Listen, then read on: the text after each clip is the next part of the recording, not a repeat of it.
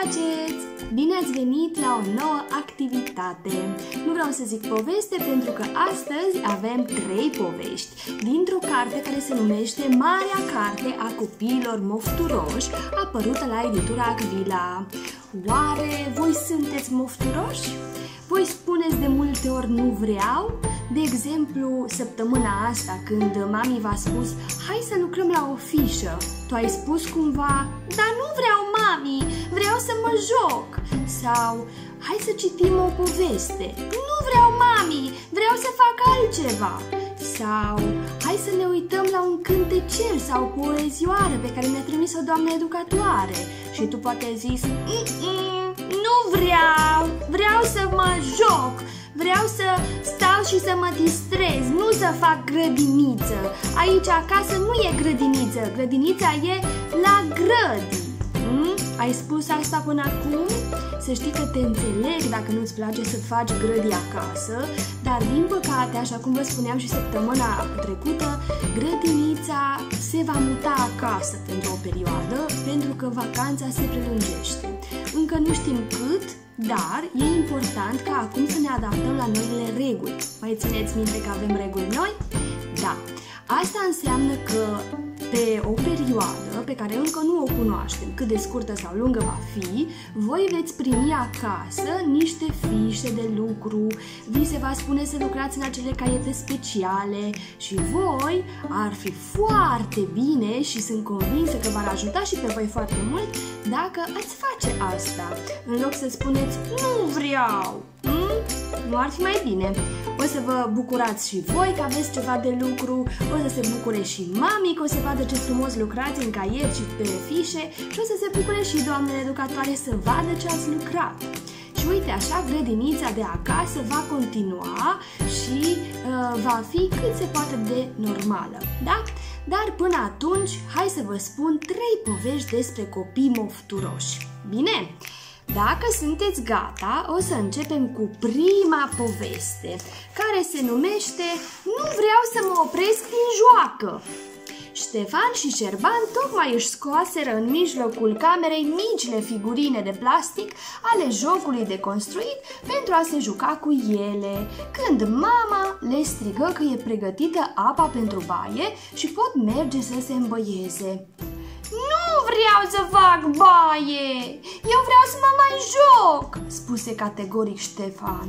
Du-te tu, Șerban! Mm, dar nici eu nu vreau să fac baie și ieri tot eu am fost primul, se bosunflă Șerban. Am convenit că într-o zi o să fiu eu primul și în cealaltă mergi tu primul. Cei doi băieți începură să se certe. Chiar atunci mama deschise din nou ușa și îi privi supărată. De ce nu veniți să faceți baie? De câte ori să vă mai strig? Dezbrăcați-vă și haideți, unul după altul. Dar Șerban nu vrea să meargă, astăzi e rândul lui să meargă primul, spuse Ștefan. Nu e adevărat, replică Șerban, doar că tu vrei să te joci mai mult. Mama se ținea deja de cap din cauza acestor certuri zilnice. În fiecare zi se confruntau cu aceeași problemă. Mama se pregătea să pună la loc jucăriile copiilor și astfel să-i forțeze să plece la baie când figurinele de plastic o porniră spre ușă.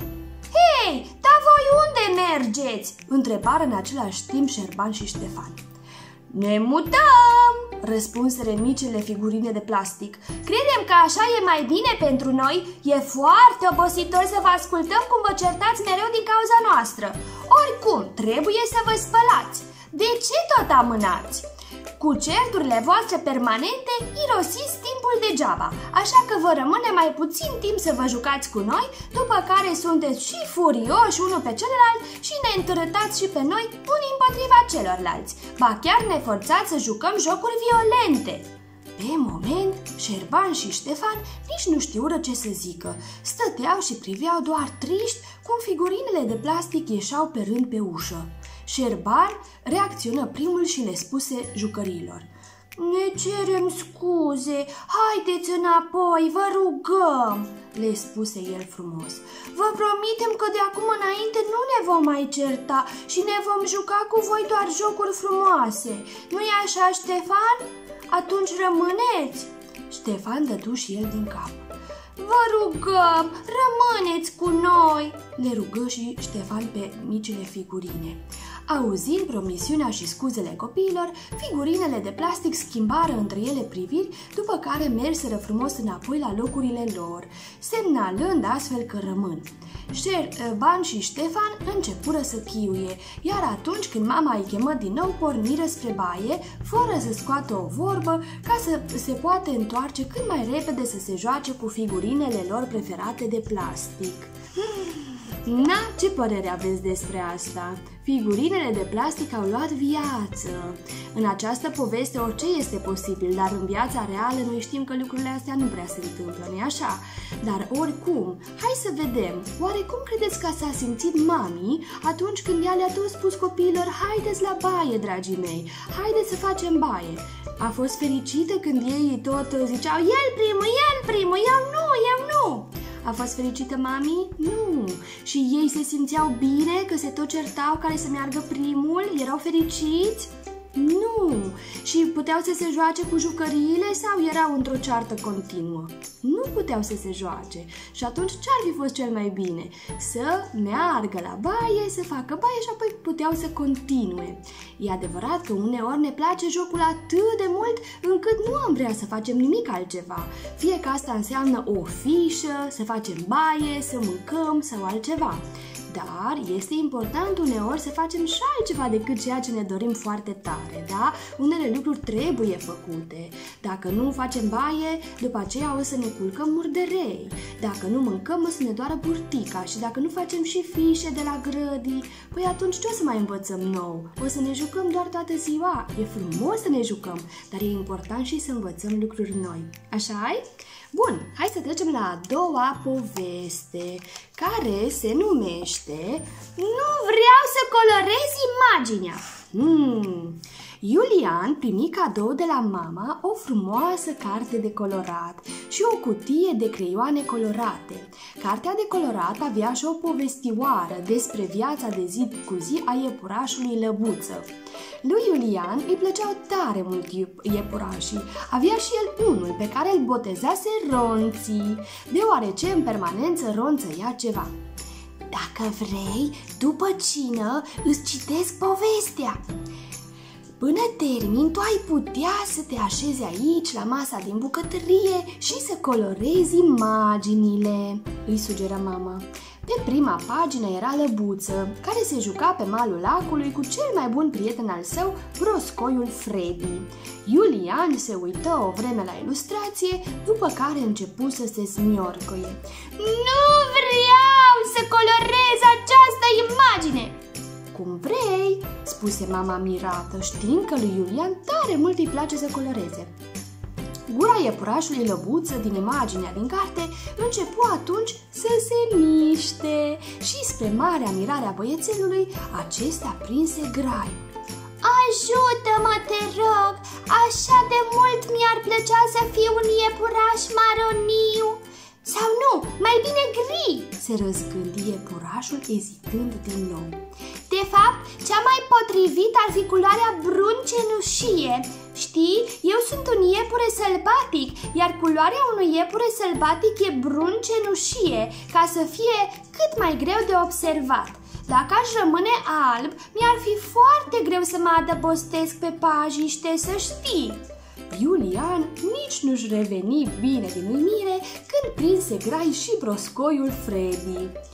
Iar pe mama te rog, pe, pe, pe mine, nu pe mama, pe mine să mă colorezi în verde. Toți brotoceii care se respectă sunt verzi, nu albi, dar te rog să-mi dai o nuanță diferită de cea a ierburilor și a frunzelor din copaci, bine? Imaginile nu pot să vorbească, spuse Iulian. Voi cum de vorbiți? O, nu pot să vorbească, protestă lăbuță, doar că nu toată lumea le înțelege normal că pot să vorbească. Știi, mă gândesc că aș vrea ca și lacul nostru să fie colorat într-un albastru superb, într-o nuanță asemănătoare cu cea a cerului.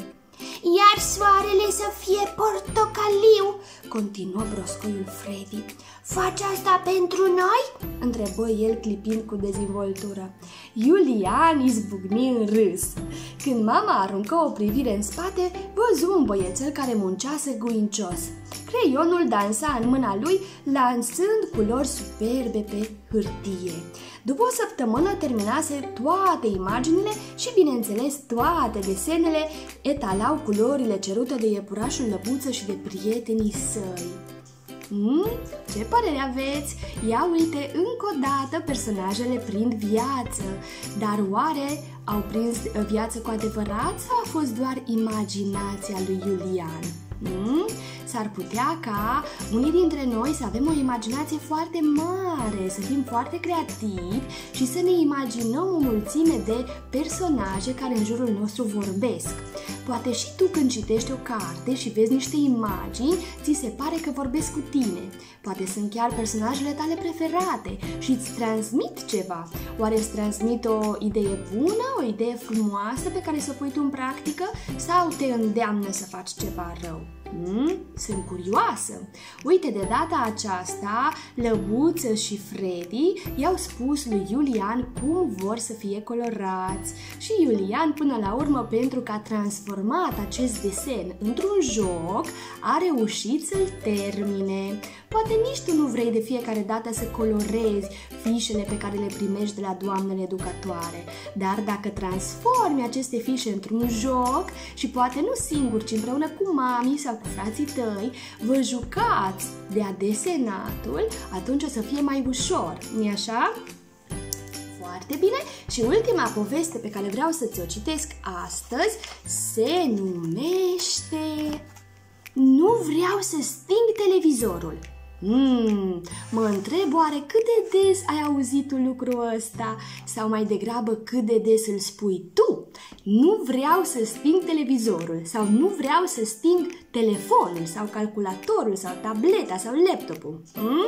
Mami îți spune hai de la mâncare, hai să facem o fișă, hai să facem baie, să ne spălăm pe dinți, să ne îmbrăcăm în pijama și tu nu vrei. Hmm? E bine să spui așa mult nu vreau.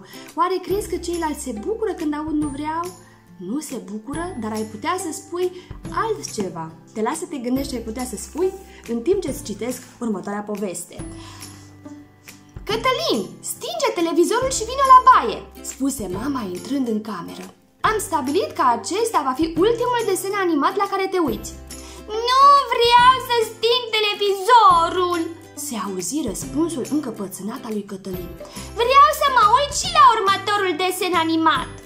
Știi bine că nu-mi place când nu te ții de cuvânt, spuse mama fermă. Dăm te rog telecomanda. Nu! protestă băiețelul. În clipa aceea, întreaga locuință se cufundă în întuneric. Becurile se stinseră, mașina de spălat se opri, la fel și cuptorul cu microunde, iar ecranul televizorului se întunecă brusc. Pentru câteva clipe se așternu tăcerea, după care se auzi țipătul lui Cătălin. Mami! Sunt aici, nu-i nimic!" îl liniști ea și îl strânse în brațe. Ce a fost asta, mami?" întrebă Cătălin. Atunci resună vocea tatei, care venea bine dispus din bucătărie. Ia te uită, am impresia că aici e mâna stăpânului televizoarelor. Cine mai e și stăpânul televizoarelor? întrebă Cătălin mirat. Este cel care veghează să nu stea copiii prea mult în fața televizorului, pentru că este conștient de faptul că privitul prea mult la televizor strică ochii. Și să fim sinceri, se poate găsi uh, și altceva mult mai palpitant decât să te uiți la televizor, explică tata. Pe deasupra, copiii mai au și unele îndatoriri. A ta, de exemplu, este să mergi să faci baie. Și pentru că tu te-ai certat cu mama, stăpânul televizoarelor probabil a decis să-ți dea o lecție și ne-a cufundat locuința în beznă. Unde locuiește stăpânul televizoarelor? Se interesă tot mai curios Cătălin. Este exact acolo unde dorește să fie, spuse tata misterios, dar nu vrea să-ți dezvăluie identitatea în fața copiilor. Dacă îmi promiți că mergi să faci baie și nu te mai cerți cu mama, atunci ies pe casa scărilor să-l caut. Am eu o bănuială că e pe acolo, pe undeva. Vorbesc cu el și îl rog să reaprindă lumina. Îți promit, tati, spuse Cătălin. În regulă, porni tata spre ușă. Atunci merg să-l caut. În scurt timp, locuința a fost din nou scăldată în lumină și se treziră la viață și aparatele electrocasnice. Am reușit să vorbesc cu el, spuse tata la întoarcere, dar a trebuit să-i promit că tu însuți vei stinge televizorul și va trebui să faci asta începând de data viitoare. Îl privi el pe băiețel. Cătălin apăsă supus butonul de la telecomandă și fugi să facă baie. Hmm? Ce părere aveți de stăpânul televizoarelor? La voi a venit vreodată? A stins televizorul și toate lucrurile din casă, electrocasnicele? Da? Nu, încă nu a venit niciodată la voi stăpânul televizoarelor. Mmm, interesant. Păi uite, de asta este foarte bine să nici nu stați foarte mult la televizor și să ascultați părinții când vă spun să-l închideți, pentru că s-ar putea ca altfel să vină și la voi. Asta înseamnă că v-ați asculta părinții până acum sau oricum vi-ați asculta mai mult sau mai des decât Cătălin. Hmm? așa -i? Ce învățăm din aceste povești, dragii mei? Este bine să spunem nu vreau nu prea, nu e așa? Pentru că atunci când spunem nu vreau, se întâmplă o mulțime de lucruri care nouă nu ne plac. Ne certăm cu uh, frații, ne certăm cu părinții, uite, se ia curentul, se întâmplă o grămadă de lucruri neplăcute. Și atunci ar fi mult mai bine câteodată să ascultăm noi părinții, pentru că ei știu cel mai bine ce bine pentru noi și dacă vrem să facem altceva, am putea să le spunem părinților ce simțim, dar cu toate astea, atunci când când trebuie să facem ceva ce spun părinții, ar fi bine să-i ascultăm. nu așa? Mulțumesc frumos pentru atenție și ne vedem la povestea următoare. Pa, dragilor!